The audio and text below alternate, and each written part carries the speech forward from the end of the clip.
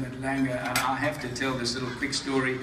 We were playing in the Open, and we were standing on the 18th tee, and it already was five hours. The play was very slow, the caddy I had, uh, McTavish was his name, and he had played and caddied all his life at St Andrews, and never did it take more than three hours. And here we're standing on the tee, and it's taking five and a half hours, and Bernhard Langer's in front of us, and he's walking up and down the tee. He's so frustrated, so I thought I'd be diplomatic, and I said, Tell me something, how long has that house been on the hill there?